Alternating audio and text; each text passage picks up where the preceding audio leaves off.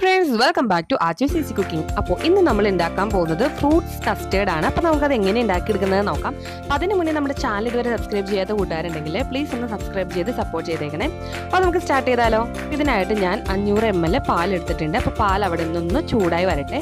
അപ്പോൾ ആ നേരം കൊണ്ട് നമുക്ക് കസ്റ്റേർഡിന് മിക്സ് റെഡിയാക്കി എടുക്കണം. അപ്പോൾ അതിനായിട്ട് രണ്ട് ടേബിൾ സ്പൂൺ കസ്റ്റേർഡ് പൗഡറിലേക്ക് ഒരു നാല് ടേബിൾ സ്പൂൺ പാലോട് ഒഴിച്ചതിന് ശേഷം ഇതുപോലെ കട്ടയില്ലാണ്ട് നന്നായിട്ടൊന്ന് മിക്സ് ചെയ്തെടുക്കണം. കണ്ടോ?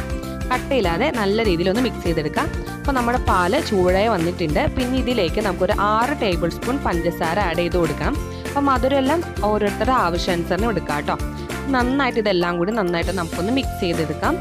അപ്പോൾ പാലൊന്ന് തിളച്ച് വരാൻ തുടങ്ങുമ്പോഴത്തേനും നമുക്ക് നമ്മൾ മിക്സ് ചെയ്ത് വെച്ചിരിക്കുന്ന കസ്റ്റേർഡ് നമുക്ക് ഇതിലേക്ക് കുറേശ്ശെ കുറേശ്ശെയായിട്ട് ചേർത്ത് കൊടുക്കണം. അപ്പോൾ കസ്റ്റേർഡിന്റെ മിക്സ് ചേർത്ത് കൊടുത്തിട്ട് കൈ വിടാണ്ട് നന്നായിട്ടൊന്ന് മിക്സ് ചെയ്തെടുക്കുക. അടുക്കി പിടിച്ചു പോകാനായിട്ട് ചാൻസ് ഉണ്ട്. അപ്പോൾ നന്നായിട്ടൊന്ന് മിക്സ് ചെയ്തെടുക്കാം. ഫുള്ളും കസ്റ്റേർഡിന്റെ മിക്സ് നമുക്ക് ഇതിലേക്ക് ഒഴിച്ചു കൊടുത്തതിന് ശേഷം നന്നായിട്ടൊന്ന് മിക്സ് ചെയ്ത് നല്ല കുറുകി വരുന്ന രൂപത്തിൽ കണ്ടോ? ഇതുപോലെ കുറുകി വരുന്ന രൂപത്തിലോട്ട് മാറ്റിയെടുക്കണം. അപ്പോൾ നന്നായിട്ട് കുറുകി വന്നിട്ടുണ്ട്. ഇനി നമുക്ക് ഫ്ലെയിം ഓഫ് ചെയ്യാം. ഇനി നമുക്കൊന്ന് തണുക്കാൻ വേണ്ടി വെക്കാം. അപ്പോൾ അതെ നമ്മുടെ കസ്റ്റേർഡിന്റെ ബേസ് നന്നായിട്ട് തണുത്ത് വന്നിട്ടുണ്ട്. ഇനി ഇതിലേക്ക് നമുക്ക് ഫ്രൂട്ട്സ് ആഡ് ചെയ്ത് കൊടുക്കാം. അപ്പോൾ നമ്മുടെ ഇഷ്ടം അനുസരിച്ച് നമുക്ക് ഫ്രൂട്ട്സ് ആഡ് ചെയ്ത് കൊടുക്കാം. അപ്പോൾ ഞാൻ ഇവിടെ എടുത്തിരിക്കുന്നത് ആപ്പിളുണ്ട് മാങ്ങ എടുത്തിട്ടുണ്ട്.